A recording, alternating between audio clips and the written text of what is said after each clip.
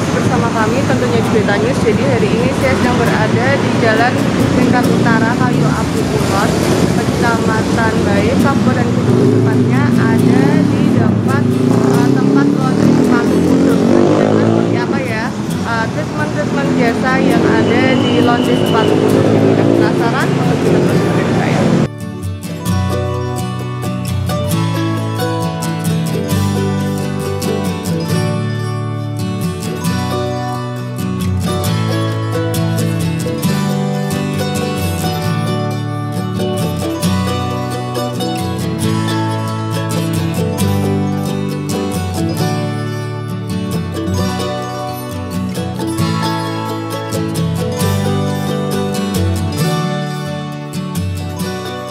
Kayak Mas Yainul mungkin bisa dijelaskan untuk buka usaha laundry sepatu ini udah sejak kapan?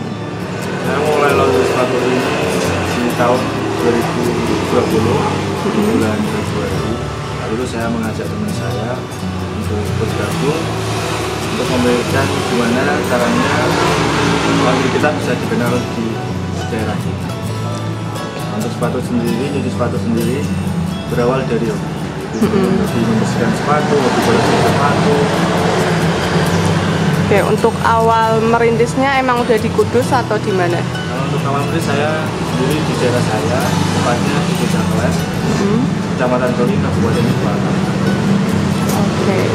Terus untuk uh, jasa yang ada di Kusit sendiri ada apa aja?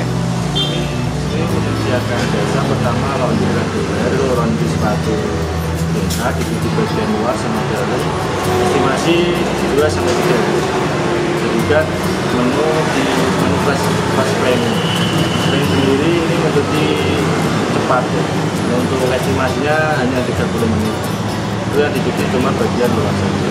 Ada juga pelayanan antar jemput, cuman laundry sepatu berjalan. Kalau untuk price listnya mulai dari berapa sih harganya tuh? Kalau untuk harga sini mulai dari 15.000 sampai Paling mahal 50. untuk treatmentnya. Kalau untuk lokasinya ini ada di mana?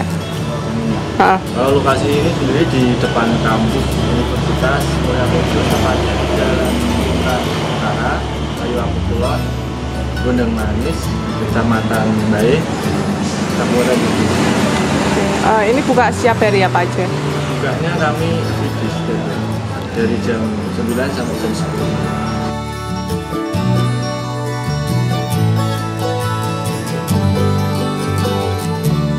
Oke sahabat beta jadi itu dia liputan saya mengenai laundry sepatu khusus nah jadi di sini banyak macam-macam jasanya kurang lebih ada 8 dan eh, untuk harganya pun juga cukup terjangkau yaitu mulai dari 15.000 hingga 50.000 saja nah eh, tempat laundry sepatu ini buka setiap hari mulai jam 9 sampai jam 10 malam Semoga liputan kali ini bisa bermanfaat untuk sahabat beta semuanya. Jangan lupa like, komen, dan subscribe karena kami akan selalu memberikan informasi-informasi terkini serta inspiratif. Sampai jumpa.